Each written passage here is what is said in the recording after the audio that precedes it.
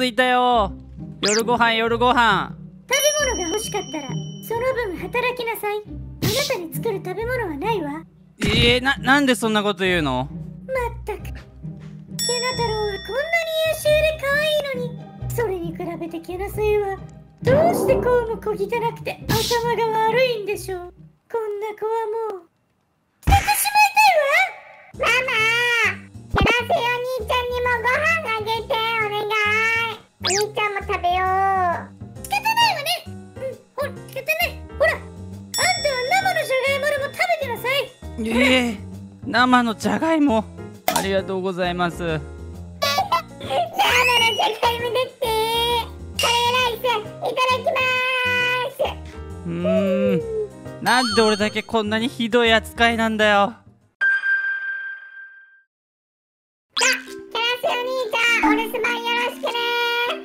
ーいきな太郎いってらっしゃい。ほら行くわよ。はいママ。パパパいやーけな太郎とママご飯食べに出かけちゃった。いやーお腹空いたな。外食行きたいな俺も。そうどうしよう。本でも食べようかな。おい。あ？ほうらわーえー、えー、えー、だ誰誰誰お前ケナセイだな。えそうだけど。よし連れて行くぞ。よいしょ。えー、ちょちょちょちょちょちょ。えやめるって。やめろって。おい僕らうっとうしい痛い痛い痛い痛い来るぞえー、どこに連れてくの？ねえ助けてよママ。ママ助けて。お前ってやつは本当にかわいそうなやつだな。え？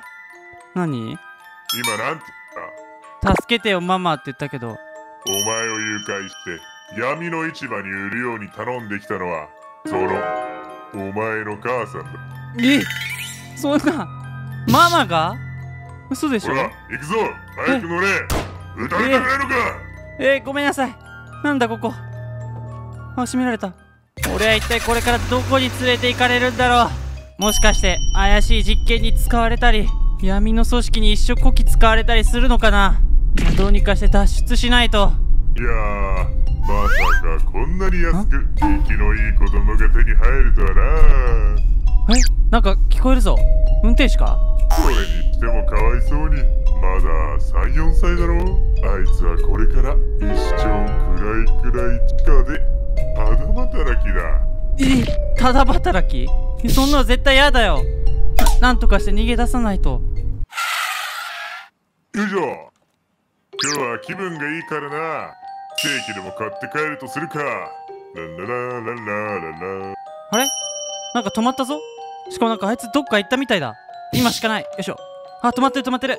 どうにかしてこの車の荷台から脱出して。よいしょ。こっち行こう。逃げろ逃げろ逃げろ。よし逃げろ。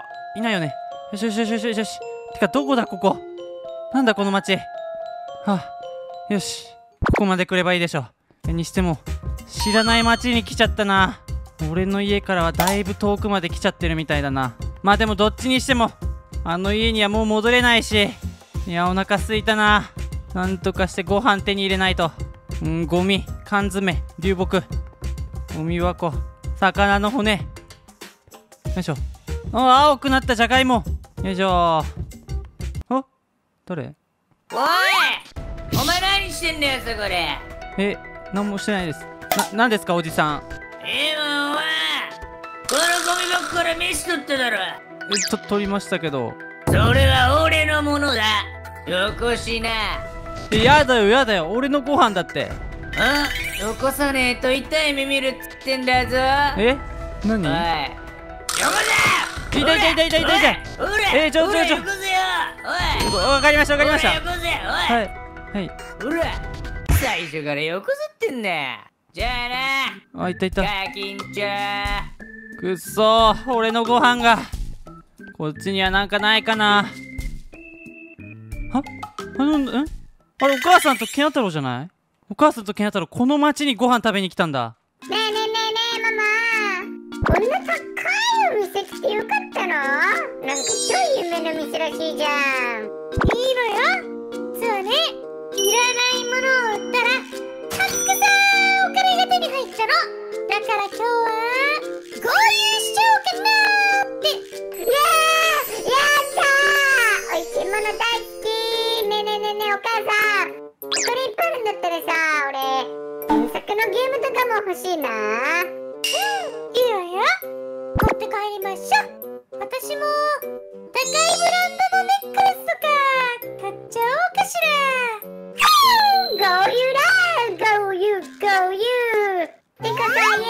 ちゃんも待ってるじゃん。バナナぐらいさ買っていってあげなよお兄ちゃんのためにも。あらバナナなんてあの子にはもったいない。あの子にはバナナの皮で十分よ。キュッハッハッハッハッハッハッハッさあ行きましょう。はーいママ。ええ俺はもう誰も信用しないぞ。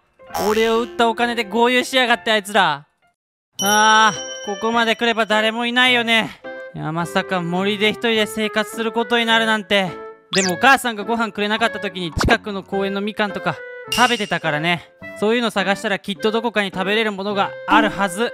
うん食べれそうなもの食べれそうなもの。あ待って。なんだあれ。なんかいる。どどどうしようどうしよう。でもこっちに気づいてないな。とりあえず逃げよう。そーっとそーっと。いしょ。んやばいやばいやばいやばいこっち来てるこっち来てる。やばいバレちゃったバレちゃった。逃げろ逃げろ。逃げろ。ーうーどうしよう。絶対迷子だ。どこまで行っても景色が変わんないよ。うーんお腹すいた。疲れた。とりあえずお家に帰りたいよ。もうダメかもな俺。ここで死んじゃうかも。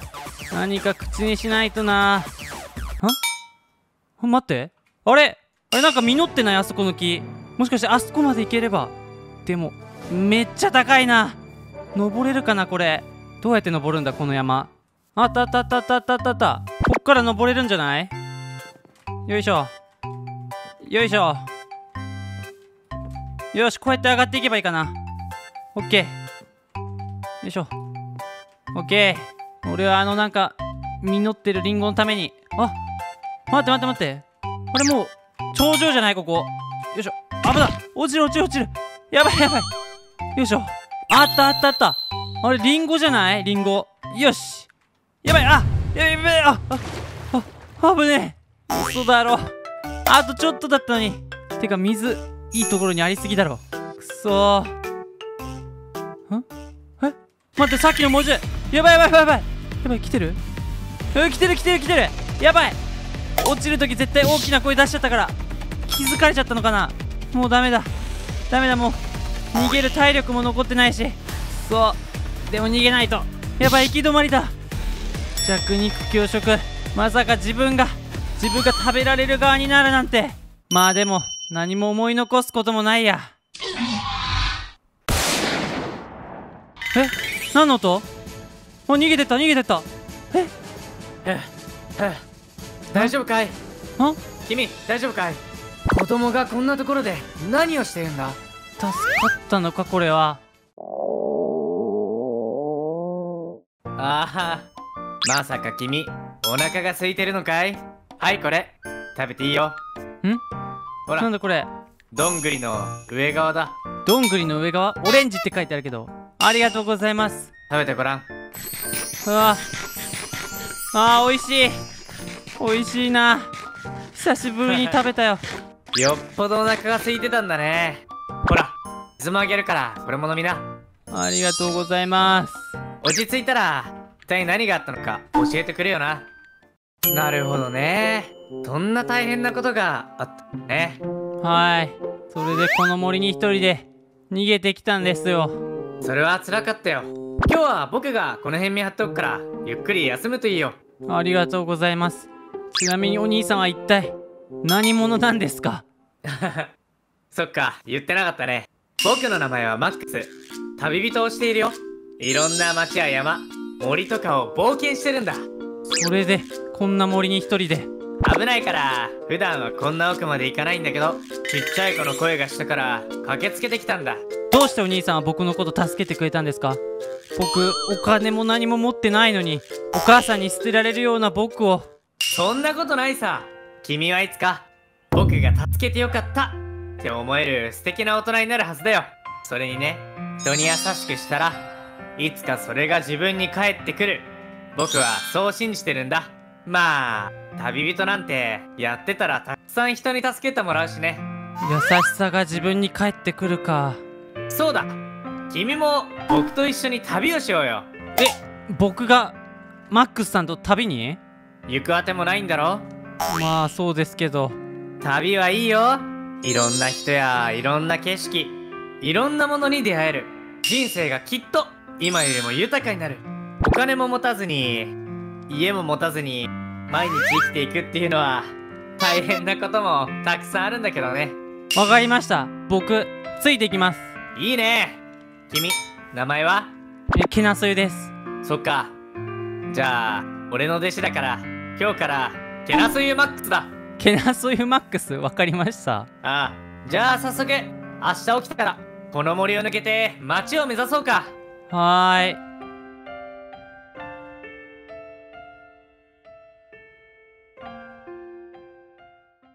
いやーマックスさんと旅を始めてからもう5年経ったのか。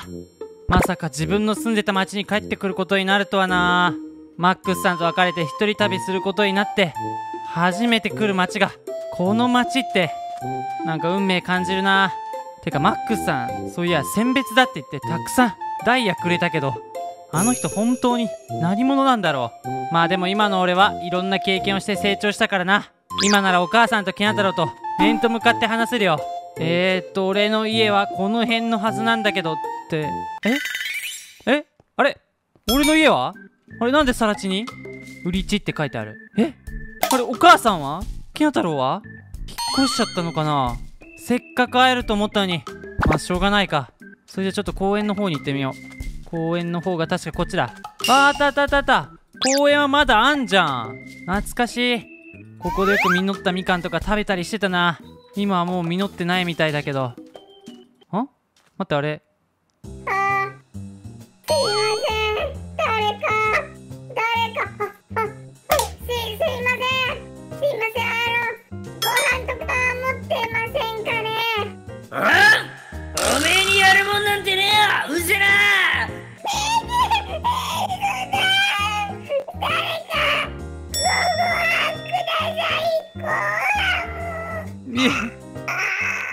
あれまさかケナ太郎？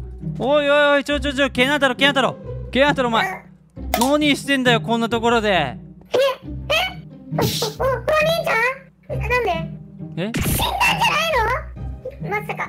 幽霊？え？俺お腹空きすぎちゃってついに幻覚が見えるようになったのか。いやいやちょちょちょ死んでないよ死んでないよ。生きてる生きてる。ほらケナ太郎これ食べな。お腹空いてるんだろ？はいありがといやそれよりケナ太郎お母さんはどうしたの？うお母さんは今地下の労働施設で働かされてるよ。え？借金が重なって家も何もかも全部怖い人たちに持っていかれちゃって。え？えお母さんが？うん。なんかちょうど5年前俺たちが高級レストランから帰った後にあの怖い人たちが家に来てね売ったものが逃げ出したから金返せって言われたらしくてそれで借金5000万円抱えちゃって。いえその売ったものが逃げ出したってもしかして俺のことかな？え売ったもの？でも俺お母さんからケラスイは事故で死んじゃったって伝えられたけど。えそうなの？だからケナ太郎俺のこと幽霊だと思ってたのか。そう。それとほら見てケナ太郎これ。ん。ほらダイヤ。お金？ほら。何？これだけあればお母さんの借金返せるかな。えどうして？でもお母さんお兄ちゃんのこと売った最低なことしたのに俺俺も俺もお兄ちゃん助けられなかったし。まあそうなんだけどさやっぱ大切な家族だしさそれに優しさはいつか自分に返ってくるって。俺は信じてるから。いいよこれ好きに使ってケナ太郎。お母さんのために。ありがとう。え一緒に助けに行かないの？な一緒に助けに行こう。ありがとうお兄ちゃん。本当にありがとう。これからは頑張って家族3人で生きていこうな